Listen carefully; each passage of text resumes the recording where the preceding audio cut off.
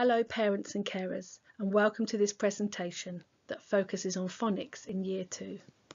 The main aims of the presentation are to share how phonics is taught at Grange Primary School, to develop an understanding of the letters and sounds phonics system, to develop an understanding of how phonics supports the progression in reading, and to share ideas about how you can support your child.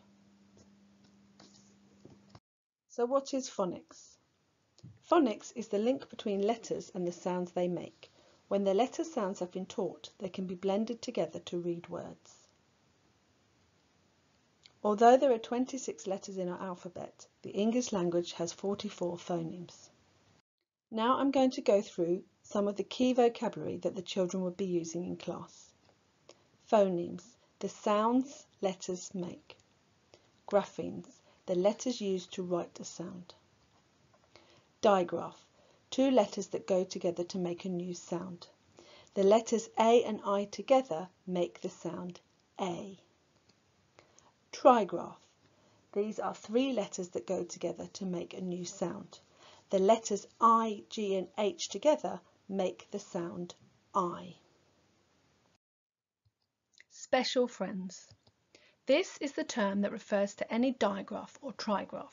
So if you were looking at a word and you were asked to underline the special friend, in the word night, the special friend would be I. Split digraph. These are two letters that go together to make a sound that have been split. This is a split digraph A.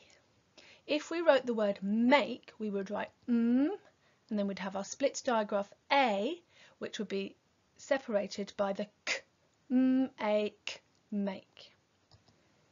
Chatty friends. This is a term that refers to any split digraph. In the word mistake, the chatty friend would be the A split digraph. Letters and Sounds is a phonics program that is taught in early years and through Key Stage 1. The Letters and Sounds program is divided into six phases, with each phase building on the skills and knowledge of previous learning. Phase 1 concentrates on developing children's speaking and listening skills. There are seven aspects within the phase. This phase is taught in nursery. Phase 2. Sounds are introduced in sets. These are the Phase 2 sounds that are introduced in reception. Phase 3. The final sets of sounds that are represented by single letters are taught with the addition of the z and the k. The consonant digraphs are taught and the vowel digraphs and trigraphs. Phase 4. There are no new sounds taught in this phase. The focus is on using the sounds the children already know to read longer words like these. Each phase has focused tricky words. These are the phase 2 tricky words, phase 3 tricky words and phase 4 tricky words. You can't sound these out, you need to look at them and remember them. We play games to help the children remember these, like pairs and snap. Phase 5. In this phase, new digraphs and split digraphs are taught. Year 2 have been learning these sounds in the autumn term and they've been practicing applying these. These are the Phase 5 tricky words. Phase 6.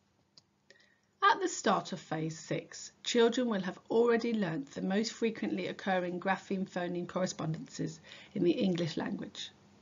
They will be able to read many familiar words automatically. At this stage, the children should be able to spell words phonemically, although not always correctly. In Phase 6, the main aim is for the children to become more fluent readers and more accurate spellers. They learn tenses and spellings of common and polysyllabic words. There is a big focus on teaching suffixes. This phase is also taught in Year 2. This term the children have been learning the Phase 5 sounds. This is a Phase 5 sound mat. We use Read Write Inc sound cards and phrases to help the children learn the sounds. Now I'm going to go through some of the strategies and activities that would be used in class to teach phonics. Fred Talk. This is a strategy that the children use to help them read unknown words. This is where they segment the word, which is saying each sound within the word to help them read it.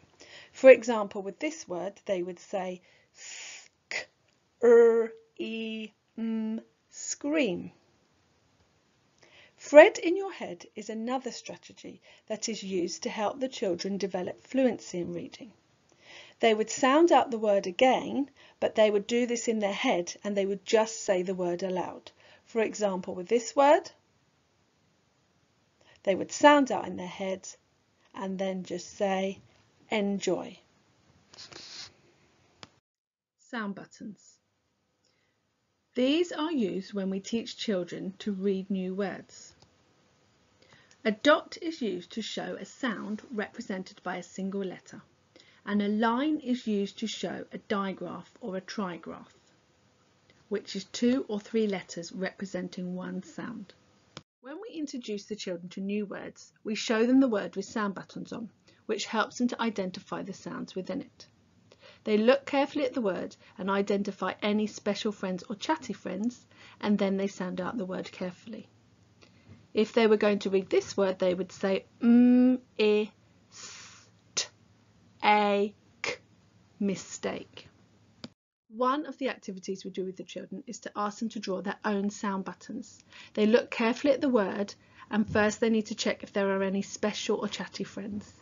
In this word there are two special friends, oo and er. They would draw a line to show these and then they have the letter f which is a single sound so they draw a dot to represent this. When we teach the children to write new words we use Fred fingers. This is a strategy that helps the children to segment the words and count how many sounds they have in them. For example, if we took the word sheep and segmented this, it would be sh, e. So there's three sounds. The children would then pinch each sound on their finger. Sh, e, p. We then ask the children to trace each sound on their finger. When they have done this, they're ready to write the word they would write sh, e, p. Another activity that we do with the children is to sort words into real and alien. Alien words are words that have been made up and the children often find these words harder to read.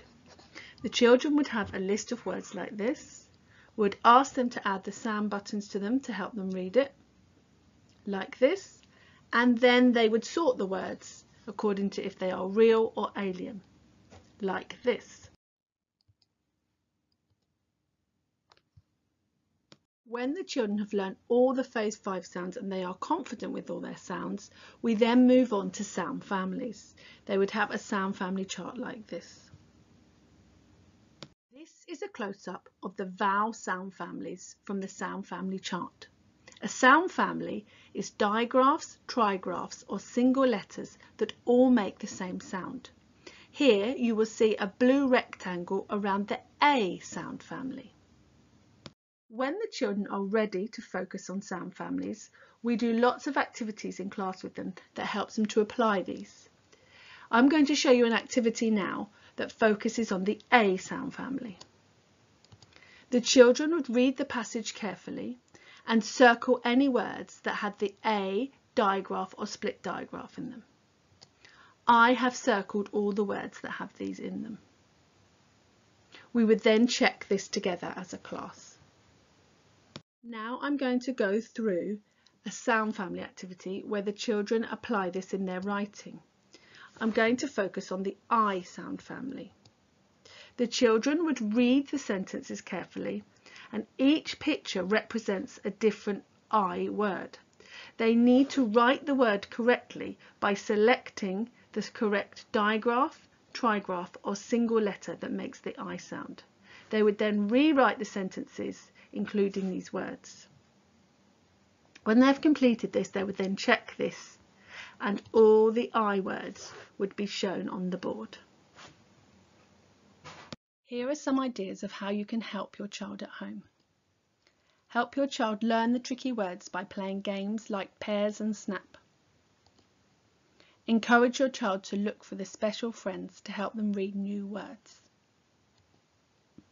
Ask your child to reread the sentence to make sense of what they have read. This is really important as children often to, need to use their sounds to sound out new words. Once they have done this, it's important to reread the sentence with fluency so that they can understand what they have read. Encourage your child to segment the word to help them write it and include all the sounds.